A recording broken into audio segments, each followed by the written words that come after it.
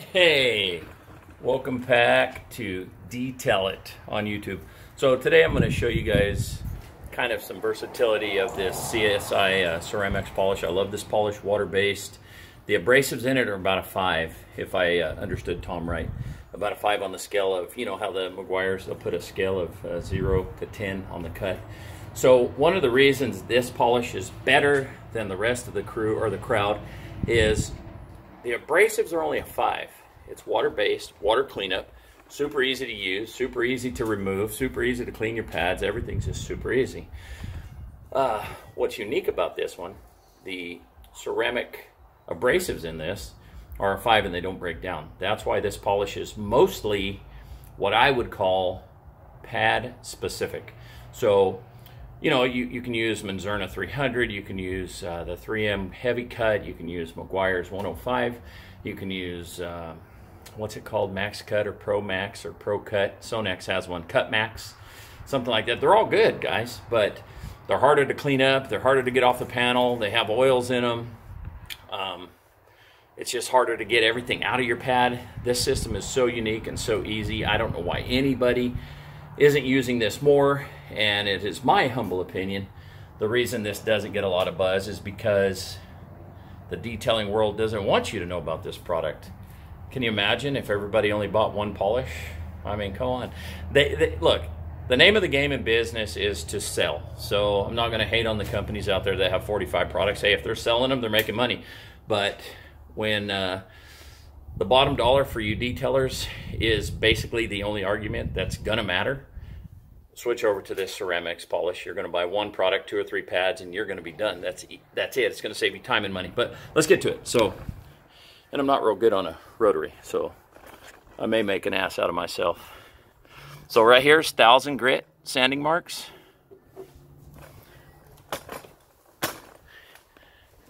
And over here is 2000 grit. So what I'm going to do on this side right here is I'm going to use a DA and a different pad just to show you guys. And this 1000 grit, I don't have any 600 grit or I would do the uh, almighty 600 grit removal with one polish.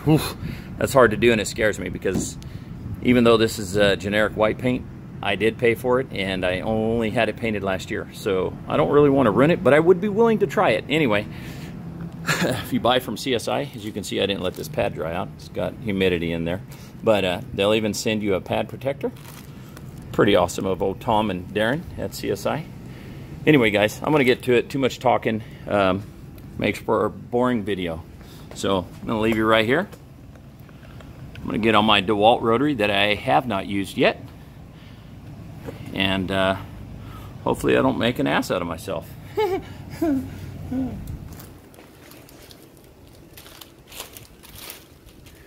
too much moisture in that bag. That was bad. And as you can see, that doesn't stink. I didn't get it clean. Look at all that. I'll show you guys after this video or towards the end why I love this product too, okay? Okay, today it's about 75, maybe 78 in California. So they have the centering rings on these pads. Holy crap. Yeah, that's a bad example, Doug. You're gonna wanna clean your pads better than that. So I'm going to go ahead and spur it first.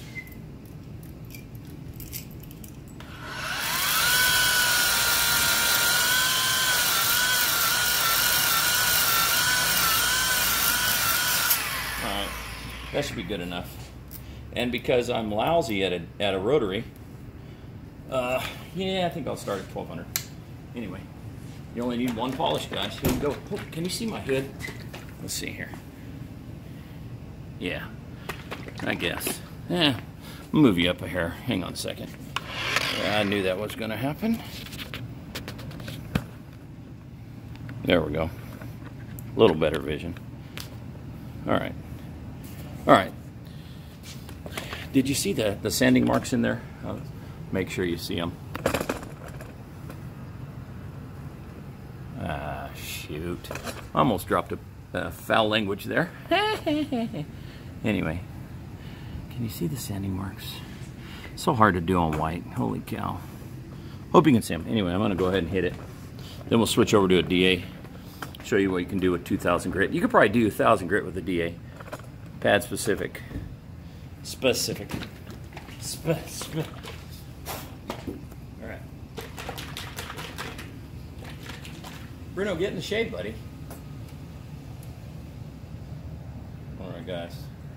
So with this product, it's going to gel into the pad. You just lay it flat, let it get uh, kind of gelled into the pad. Let's get to work.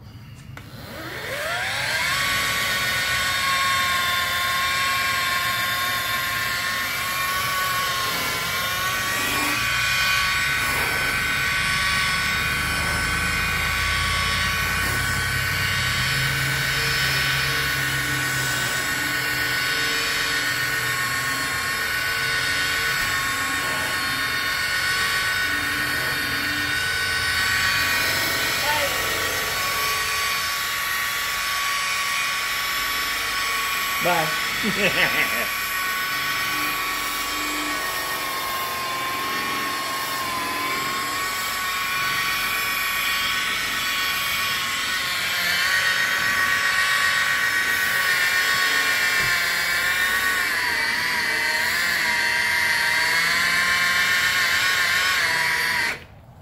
All right, let's check that out.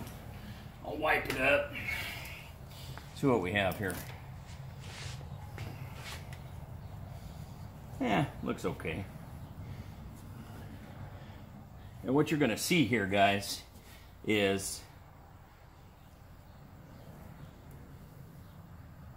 I don't even know if there's any uh, sanding marks in there left, but I'm going to go ahead and convert over to the red pad, finish down. Even though I don't know if I cut enough, I'm going to go ahead and switch over right now. This You only need two pads with this system, and if you're good with a rotary, good for you. I'm not, but let's go ahead and do this. Okay. So you're going to start at the same speed you cut with, and then finish down on the lowest setting. Okay, here we go.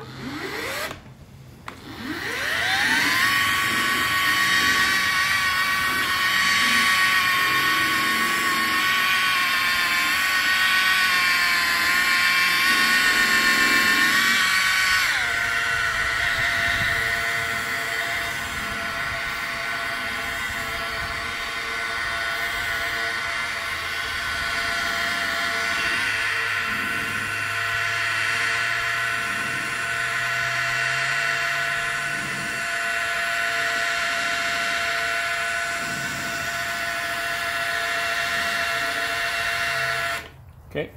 And yes, I'm laying it on my hood. Go ahead and start casting stones. Doug, you're an idiot. Yeah, maybe.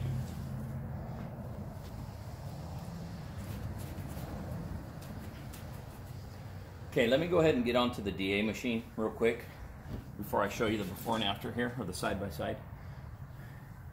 And mind you, guys, I'm not that good at a rotary, so some of this is going to look terrible, but that's because of uh, the rookie hens. That's me.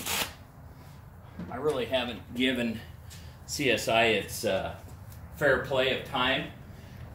I've spent so many hours with other systems. Um, fell in love with this system, and honestly, I use this system most of the time with a DA because most people don't want perfection; they just want to clean up. So you can use this with a DA and like a heavy cutting pad or a medium cutting pad or a heavy polishing pad and do a cleanup, and it works just fine. So what I'm going to do now, I'm going to switch over.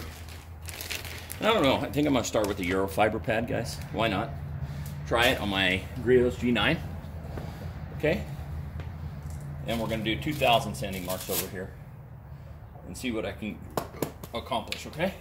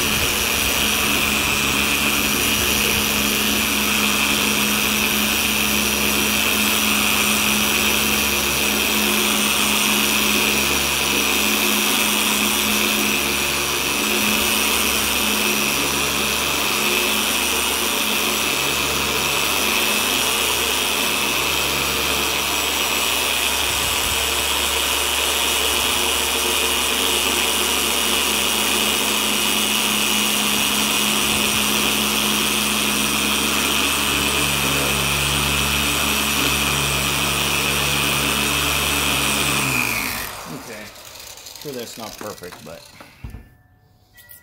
couldn't really see. White is horrible in the sun. Can't see anything, anything, anything.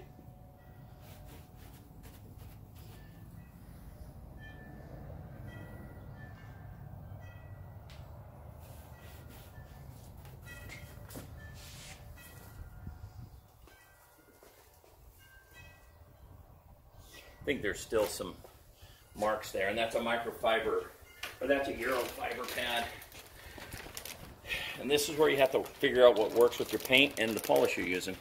So I'm going to use a uh, medium, this is like a, eh, this might be their heavy cutting pad actually.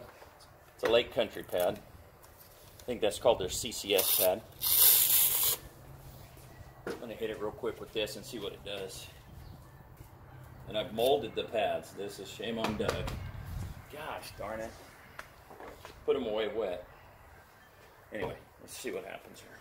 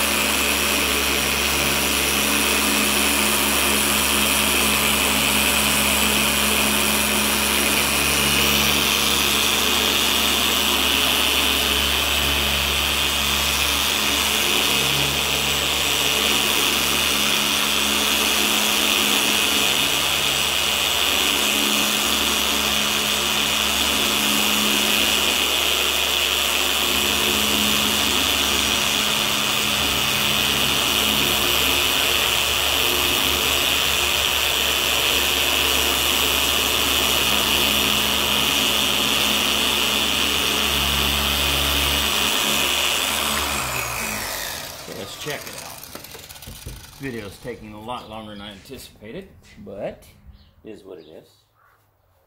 Okay, I think right now we're going to just look at this and see what I've done. Then I can eat crow or tell you what I didn't do right or wrong. But I think we're looking pretty good. Okay. All right. I'm just going to bring you guys in. Let's let's do this and see. All right. So let me shorten up the tripod. Okay, so I'm going to try to do this from above where I did it with the rotary from this angle right here. So I think you're going to start seeing some sanding marks and then I'll remove that. I think you can see them. I can see them big time. You see them? Let's take off the tape. And mind you, I don't think I worked it enough, but you saw what little bit of work I did. So Watch the line. Here we go. There's still a little bit of sanding marks in there, but out in here, up in here, I didn't work it hard enough, you can see, but down in here, you see how clear that is. Now watch the sanding marks. Close to the tape line, apparently had a little mental block there, and I didn't get up next to the tape, but watch out here. It's totally cleared up. Some light sa um, sanding marks by the tape, tape line, and then look at the difference. Look at all those sanding marks all this means to me, guys, a little more time on the rotary machine. So, but that looks fantastic. Let's go over here to the DA. I don't even know how this turned out, but we're going to find out. This was a Eurofiber pad, and then I went over it with the Lake Country yellow pad, which I think is their heavy cut. It's their foam cutting pad, I believe. So, let's see if you can see the sanding lines here. Can you guys see that? Let's see what that looks like. God, white is so hard. Sheesh. Let me see what I can see with my eyes. Okay, from here, I can see the sanding lines. Then when you get over into here, it's cleared up. Now, by the tape line again, I didn't work that hard enough. I don't know if I was afraid to peel the tape up or what. But, gosh darn it. See right in here, I hope you're seeing what I'm seeing. This stuff is really good right here. Totally no sanding marks up in here. Now back here's what we started with. Look at all those. Anyway, guys, I need a little more work with the uh, rotary and this uh, CSI CeramX. Clearly, I spent way more time learning other polish systems. This is my favorite. Oh, wait, wait, wait, wait. I gotta show you guys this. Why CSI, Doug? You're not even cutting that good with it. You actually have some sanding marks left. Yes, yes, yes. Time on machine. It's all my fault. But here's another great thing. How many of you guys buy a cleaner for your pads? Huh? How many of you guys can't get that crap out of your pads? Huh? How many of you guys are so frustrated you soak them and then you screw up the Velcro backing on your pads? How many of you? Just about everybody, right? Here's probably the best thing with CeramX. See the pads? Do you see the pads? Can you see the pads? Tell me you can see the pads. Okay, here we go. Here's all you need to clean up CSI CeramX. Yep, water. Mother Nature is giving you all the solvent you need. H2O, guys. Let them soak, water-based. No cleaners, no degreasers, nothing that's going to hurt your uh, Velcro. Just good old clear water. That's all you need here, guys. Anyway, thanks for watching. Another tip when you're doing panel prep with this product, you don't need any of those solvents. Some people tell you how to make homemade uh, panel prep. Optimum sells one, P&S sells one, Adam, so you don't need that. With this, it's either simple green or just pure water. That's all you need, guys. I'm telling you, there isn't anything better that I found. Shame on me for not using this more. Um, but honestly, since I started the channel, this is the truth. I spend more time just experimenting and trying stuff, making quick videos than I do detailing cars anymore. So just having a good time doing it. But I'm going to get on this hard and heavy and eventually bring you guys back when I get really good on the rotary and I'll finish this truck down, cut, polish, and finish down with one product and a rotary maybe if I can put enough hours in on it. Okay guys, give Tom or Darren over there at CSI a holler. Try their product, give it some time. It's different, but it's so easy. Thanks for watching.